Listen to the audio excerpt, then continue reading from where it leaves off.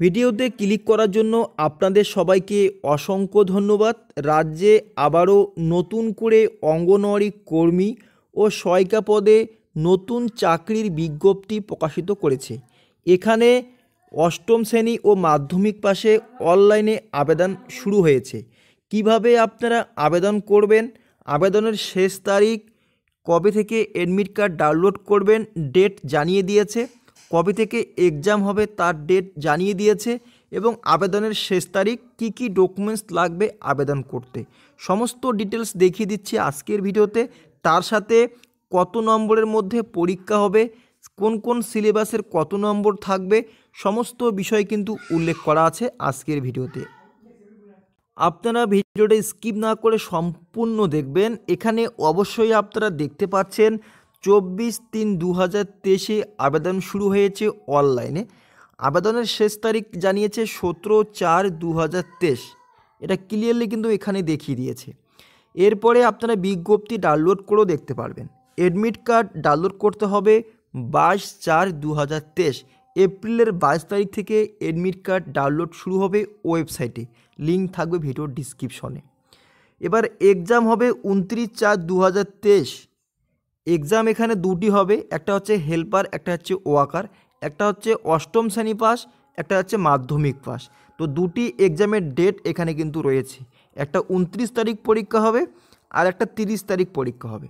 তো আপনারা অবশ্যই যে পোস্টে আবেদন করবে এডমিট কার্ড ডাউনলোড করলেই দেখতে পারবে ডেট কবে রয়েছে, কবে থেকে পরীক্ষা হবে। এরপরে আমরা আসব সিলেবাস সিলেবাসে যেটা বলা হয়েছে, কতর মধ্যে এখানে পরীক্ষা হবে, সেটা কিন্তু মেনশন করা রয়েছে। তো ভালো করে দেখে নিব সিলেবাসটা। তো এখানে আপনারা সিলেবাস দেখতে পাচ্ছেন, মোট তোমাদের কিন্তু এখানে নব্বইয়ের মধ্যে একটা রিটেন এক্সাম হবে। আর দশ নম্বর হবে তোমাদের ভাইবা। তো অবশ্যই একশো নম্বর পূর্ণ হচ্ছে।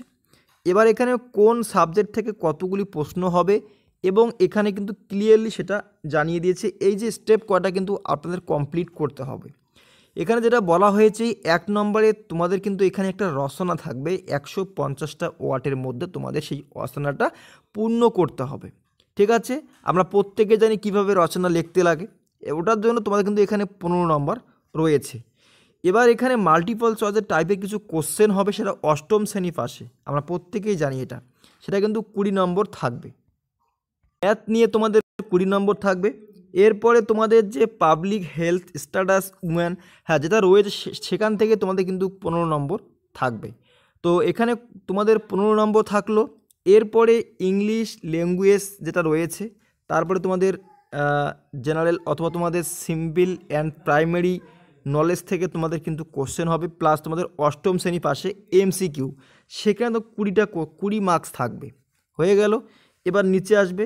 তোমাদের জেনারেল নলেজ থাকবে কুড়ি কুড়ি মার্কস তো মোট হচ্ছে এখানে নব্বই, নব্বইয়ের মধ্যে দশ নম্বর এখানে নব্বইয়ের মধ্যে তোমাদের হচ্ছে পরীক্ষা হচ্ছে রিটেন এক্সাম দশ নম্বর তোমার থাকছে ভাইবা তো সেটাও কিন্তু এখানে উল্লেখ করে দিয়েছে, আপনারা কিন্তু দেখতে পাচ্ছেন।